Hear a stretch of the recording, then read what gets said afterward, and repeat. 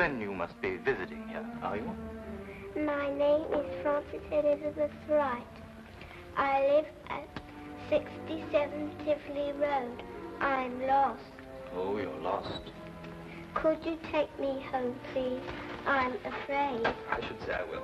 Come on with him. That's the way it began. Nothing extraordinary. For in a large city like London, a lost child is such a common occurrence that many a far-seeing bobby arms himself with a bag of chocolates in addition to his nightstick. No one suspected that this was the beginning of a case that was to rock all England.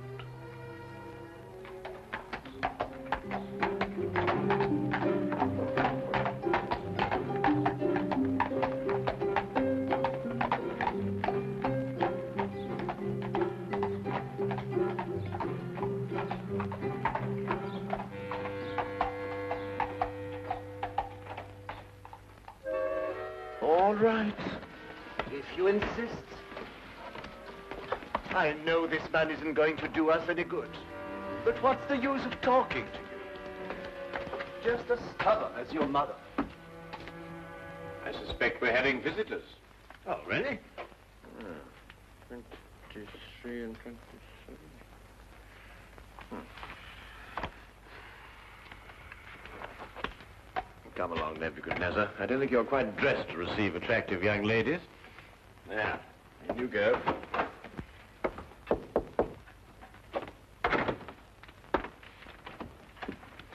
Won't you come in? Uh, Mr. Holmes, Sherlock Holmes. At your service, sir. Uh, Martini. George Martini is my name. This is my daughter, Margaret, who is of the stubborn opinion that you can help her. It will be a privilege, sir. Oh, uh, may I introduce my very good friend, Dr. Watson? How do you do? How do you do, sir? Uh, oh, yes. Uh, won't you sit down? oh, yeah, I'm so sorry.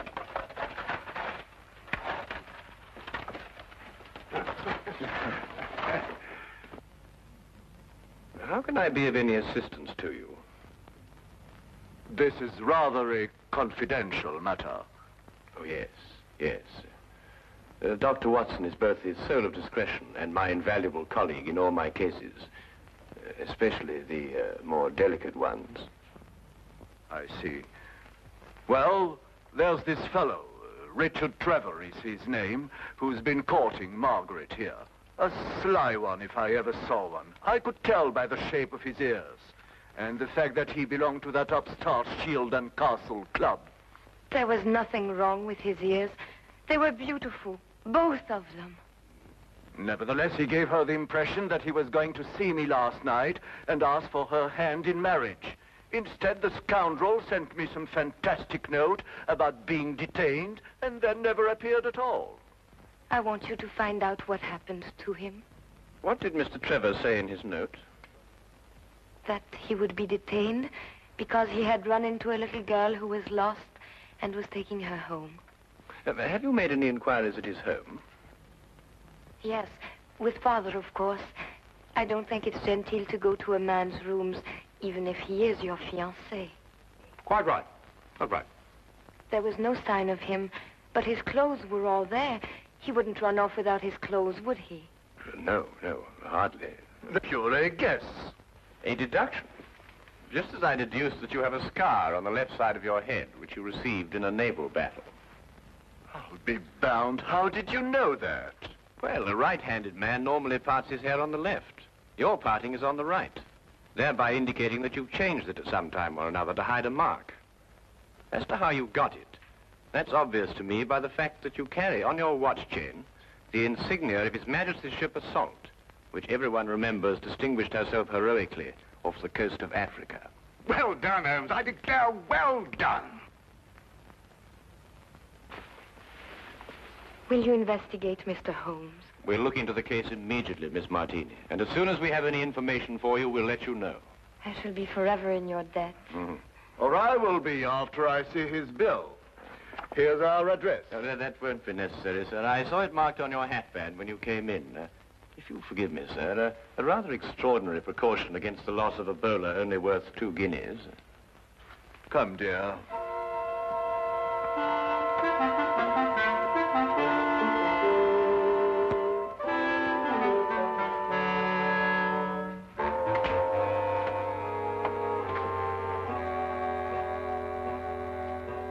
Not long after moving in with Sherlock Holmes, I had come to the conclusion that his mind was as organized as his housekeeping was not. He was, without a doubt, the most perfect reasoning, observing machine I had ever encountered. And just watching him think had become sheer fascination. I tried to put myself into his brain now and deduce what had happened to the missing Mr. Trevor. Did it occur to you he might have had an accident and even now be lying in a hospital at this very moment? You, being a doctor, would think of that. But if that were the case, surely the hospital would have informed someone by now. Maybe he skipped off and left her then. There's no guarantee he won't come back for his clothes or have them sent on to him. I'd grant that if he hadn't sent that note. A man deserting a girl isn't likely to send a note at all. And if he did, he couldn't conceive, as Mr. Martini put it, of such a fantastic one. The case is more than complex, Watson. And when we solve it, we shall also know what became of the others. What others? Oh, Watson, uh, would you pass me my uh, tobacco pouch? Hmm? Well, where is it? It's in the toe of the Persian slipper, under your chair. All right. There you are. Oh. Thank you, Watson. Now, what others? Well, it's come to my attention during the past two weeks that seven men have disappeared, totally evaporated from the face of London. They had no reason to run away, every reason to stay. Trevor fits perfectly into this fabric. You mean then that there's more in this than just the disappearance of that young lady's fiancé? Unless you accept eight consecutive coincidences. Could you accompany me this afternoon? Hmm, where? To the last place where Trevor must have been before he met the little girl. But you don't even know where that was. I'd say it was the upstart Shield and Castle Club. Why there? Well, if you were about to confront a man like Mr. Martini to ask for the hand of his daughter in marriage, what would you do first? I'd probably have a couple of stiff drinks first. And if you were a member? At the Shield and Castle Club, eh? By Jove, Holmes, of course. That's just what I would do. You see, Watson? You've been of invaluable assistance to me already.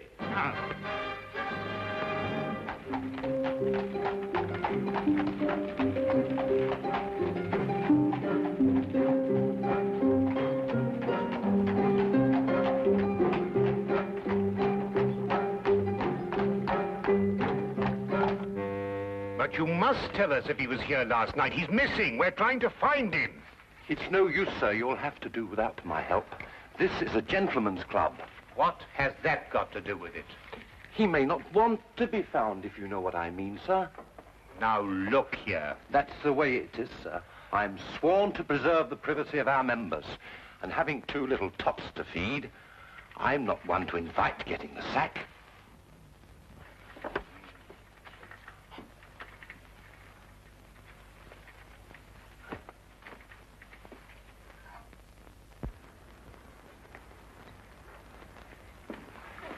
I say, where have you been? This is meant to be your case, you know, and I've been doing all the investigating. Yeah, do you know that Trevor was here last night? How do you know? Well, to my utter amazement, one of my keys fitted the door to the office. I went through all the chits and found one signed by him. It's just as you thought. He boasted his courage with the aid of stimulants from the bar. Do you mean you've broken into the office? Do you want to have us arrested? Us? Yes, by keeping the barman occupied, you served as my accomplice. Now, really, Holmes, you've gone too far. Now, the thing to do is to find the carriage that both Trevor and the little girl took. How do you know they didn't walk? Well, if she lived near enough to walk home, is it, is it likely that Trevor would have sent a message saying he was going to be detained? What extraordinary reasoning. Not extraordinary at all, my dear fellow. Really quite ordinary. Oh, what on earth do you think you're doing, Mike?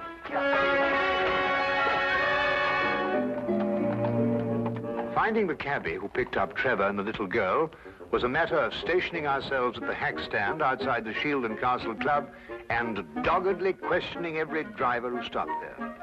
One finally remembered the pair, but owing to brisk business that night, could not be at all sure where he set them down. The address he brought us to was a guess, and from the looks of it, a very bad one. Well, I think we're on a wild goose chase. Doesn't look as if they lived here for a long time. Do you realize these papers are at least a week old? Well, then the cabbie made a mistake. He's brought it to the wrong address. Do you know, without very much difficulty, I think I might be able to... Holmes, Holmes, please, not again. You good fellow, keep a good lookout, will you? Look, Holmes, this is housebreaking. We can go to prison for years for this. You can't just go opening doors all over London just because... Oh, Holmes, no, there's somebody coming. Look, Just, just stand in front of me and behave quite normally, eh?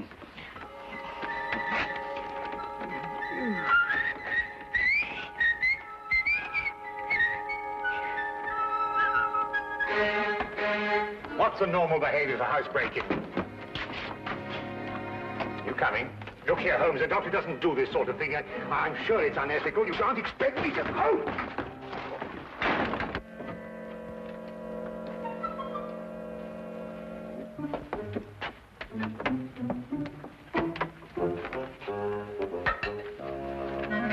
What are we looking for? I'm not quite sure yet. You won't find anything here. You said yourself the house has been unoccupied for the last week. Thieves in the night, that's what we are. A child's been here recently. Oh, what makes you think that? Do you remember as a youngster, Watson, penciling in moustaches on the faces of the advertisements? I suppose so. But what's that got to do with it? When I looked at those newspapers outside, I noticed that someone had penciled in a handlebar moustache on a woman advertising headache powder. I'd assumed that a child did it. More than that, since the papers were only a day old, I'd also assumed that a child has been here very recently. Why should the child bring Trevor here to an unoccupied house? That, Watson, is the core of our problem. Excuse me a minute. Huh? Oh. Good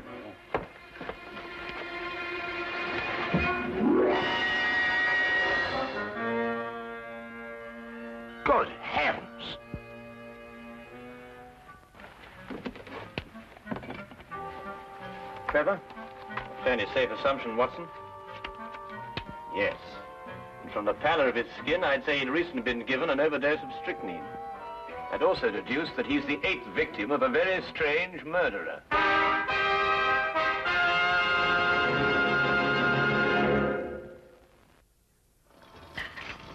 Dash the tea, Holmes. I'm waiting for some word from you.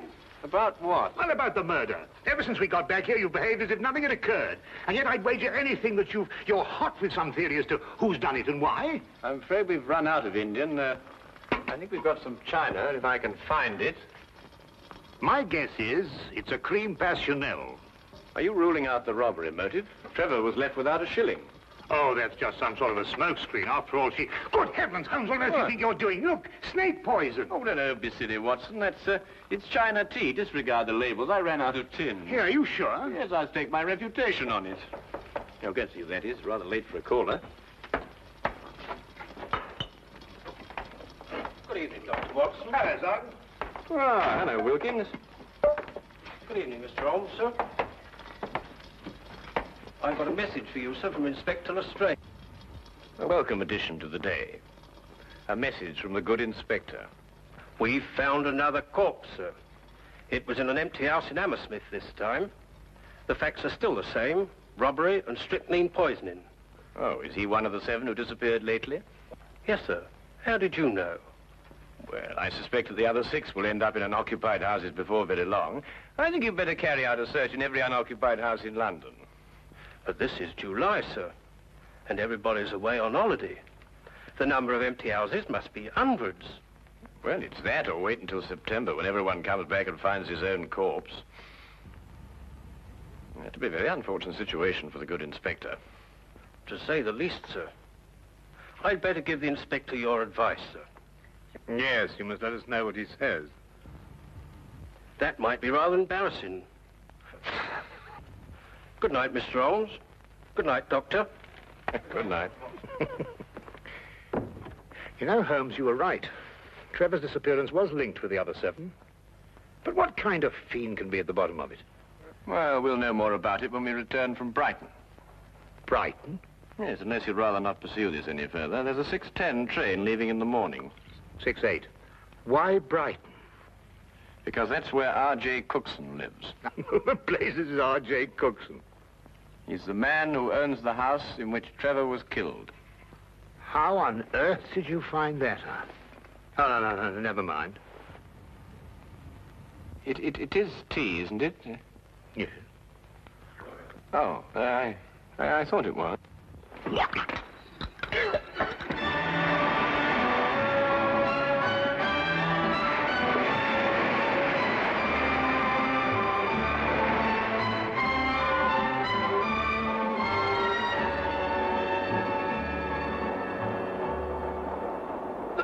Have you ever heard anything so incredible? A corpse in my fireplace. And a stranger at that. Hmm. Rather inconsiderate of someone, I must say. Why, why, when the police brought the news last night, I thought someone was pulling my leg. My fireplace. Really, I ask you. I'd say because the murderer knew you'd be away, knew that the house would be unoccupied, and that you wouldn't come back at an embarrassing moment. You're right, Mr. Holmes. Absolutely right. The culprit was acquainted with all my plans, and not wanting the corpse to be found in his own fireplace, chose mine. Precisely. But who could that be? I'd vouched that a full regiment of people knew of my plans to leave London. Then our task is to narrow down that regiment. But how? You have me breathless. First of all, has anyone else the key to your house? No, not that I know of. Yes. I once gave my key to the greengrocer to deliver a parcel, Aha. but he gave it back. Oh. But bosh and bother, supposing a key wasn't used at all. Whoever did it could have used a tool or something and jimmied his way into my house. I've heard of those things being done. Mm-hmm. Oh, really? We found all the windows and doors locked. I'm afraid you've escaped me. Now again, Mr. Cookson, are you quite sure that no one else has a key to your house? Well, now, really, after all, I don't hand them out like calling cards to every... Wait. There's this charwoman who comes to my house once a week to clean up. But, oh, no, she couldn't hurt a fly. Well, what's her name? Mrs. Enid. But, but really, she couldn't be less harmless. She's 60 years old if she's a day. You'd take her for your own grandmother. Yes, yes, but you know if she has a daughter. A Daughter. Well, now, really, a woman of 60 isn't bound to have a little girl. Well, what about a niece or a granddaughter? Granddaughter. Now that I think of it, she does have one. About seven years old. She recently came to live with her. Where does Mrs. Enid live? I have her address if you please. Sorry. Right here in my trousers. Do you, do you really think it could be the old woman? Well, a charwoman has the ability to go anywhere in London. Ah, yes, yes, yes. Uh, wait, wait, uh, wait. Uh, 322 Radcliffe Way. 322 Radcliffe Way. To look at her, you'd, you'd never think she could hurt a fly. You'd take her for your own grandmother. Poison murders? No. Impossible, Mr. Holmes, impossible. Oh, Grandma, must we play game tonight? Of course. Don't you like playing it? I don't like staying on the street alone. It'll only be for a little while. You'll find someone to bring you back, and Grandma'll have company again. What happened to the last company we had? Oh, he went home after a while. But come on, let's say it. Where do you live? At 67 Tivoli Road. No, that was the last place. Your address is now 120 Claridge Street. I forgot. All right. Now, come on. Let's say it again. Where do you live? 120 Claridge Street. And again? 120. What do you think, Holmes? well, we'll know definitely in an hour's time. Come on.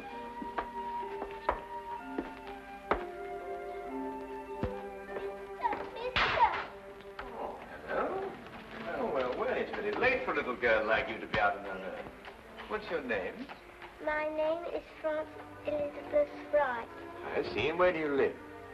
I live at 120 Claridge Street. I'm lost. Oh, dear, dear, dear, that would mistake you home. Come along, then. You must come in and try some of my divinity fudge. It's the least I can offer you for your kindness in bringing Frances home. Well, that's very kind of you, but really I ought to be getting along. It's just been made. Delicious. You'll make an old woman very happy if you'll try the first slice. Oh, very well then. I am rather partial to divinity fudge. Frances. Thank you.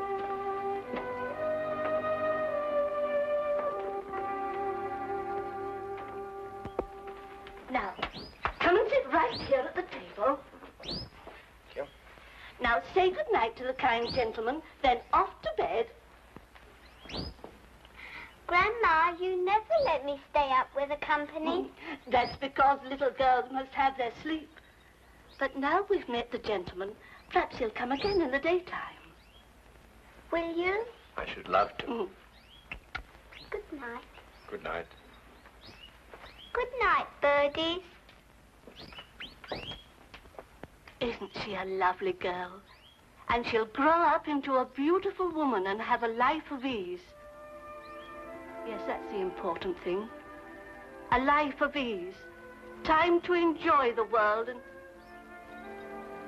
Here, you're waiting for some fudge, and I'm prattling away.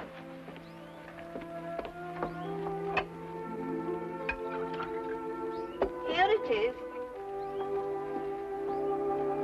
And a glass of cold milk to go with it. Won't you join me? Oh, no. My doctor would never permit it. I only prepare this sort of thing for people who drop in, like you. I see. Mm, smells very good. If I have one speciality, it's divinity fudge. You'll find it heavenly.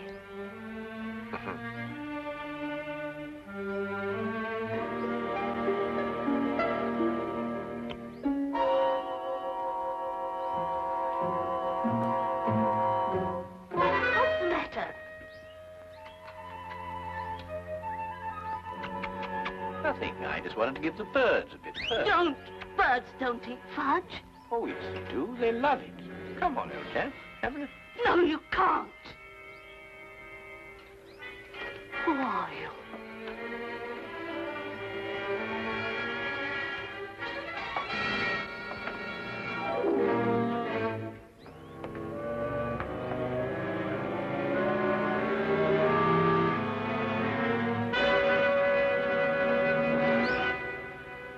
Take that, Mrs. Enid. Thank you.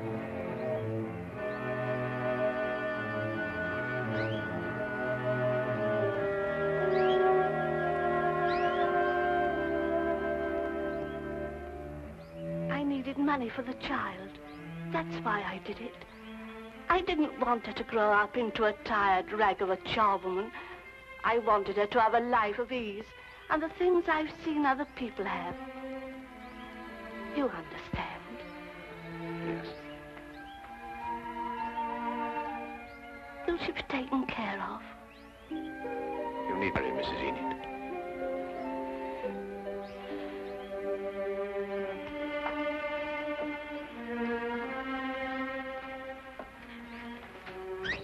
I wish now I hadn't tried to poison you. You might have visited us again as you promised. And we'd have been such good friends.